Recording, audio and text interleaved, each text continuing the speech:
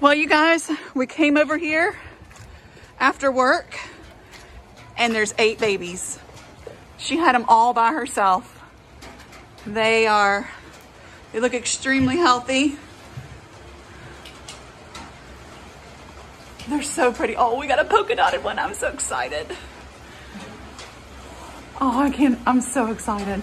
But there's eight of them. We did not find any that are dead. We did not find the placenta, um, all of the umbilical cords are gone. So they seem to be doing really, really good. Praise the Lord.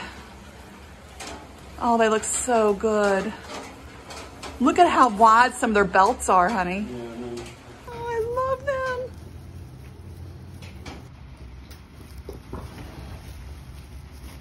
Especially when I over there.